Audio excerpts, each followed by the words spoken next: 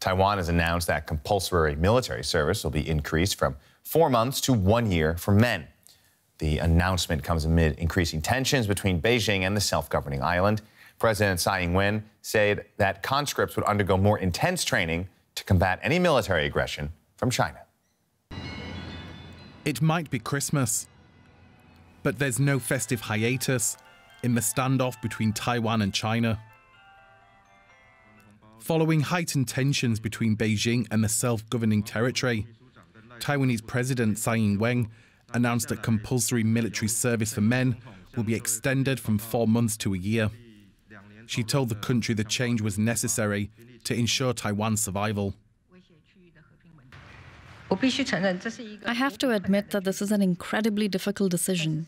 But as president, as the commander in chief, protecting the national security and ensuring national interest, allowing Taiwan to survive eternally and that the people can live a free and democratic life for generations to come is an unavoidable responsibility of mine as the president. This footage released by Beijing shows China's People's Liberation Army conducting military drills around Taiwan on Christmas Day. Taipei said 71 Air Force jets entered the island's airspace in 24 hours, the largest incursion to date.